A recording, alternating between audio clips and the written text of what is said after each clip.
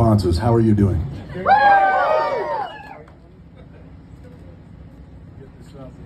I had so much to say the other day um, for the Rock Stop opening, and I didn't get to because uh, of anxiety, weather, you know, just uh, being in the moment and loving everybody that was around me. So today I did write a little speech.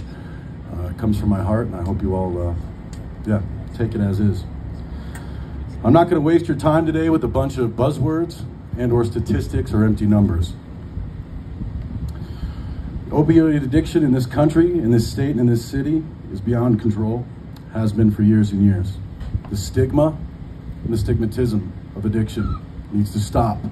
It's counterproductive and it does nothing for anyone. Seems to me that everyone here that showed up today understands why we're here.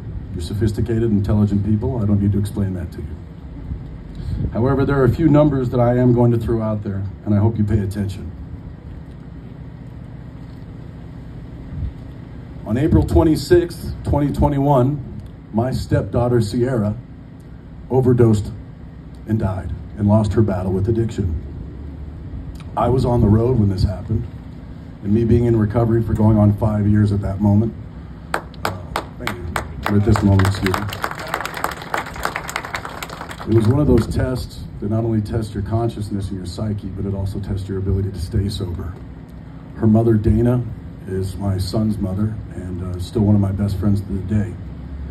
When she passed, uh, my older daughter, who was her best friend, is still considered her best